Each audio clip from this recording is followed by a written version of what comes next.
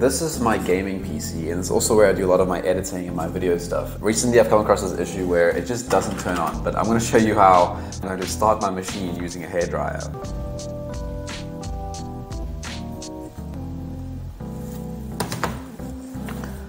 The reason why this happens is because there's something called dry solder joints. In this massive sea of electronics and tiny little solder points, there's a tiny hair solder, it's thinner than a human hair. What happens is the solder contracts and it shrinks and it doesn't make contact properly. The moment I heat it up and restart the computer, it makes contact for a brief second and starts the machine. For a lot of electronics, if you find that they just suddenly stop working randomly, 90% of the time it's a dry solder joint or it's moisture. So before you just toss it in the bin and you give up, use a hair dryer or a heat gun to just gently heat that, the, the, that electronic section. I hope this little tidbit helped you. It's so stupid stupid, but uh, I know it could save a lot of people. Cheers for now. See you.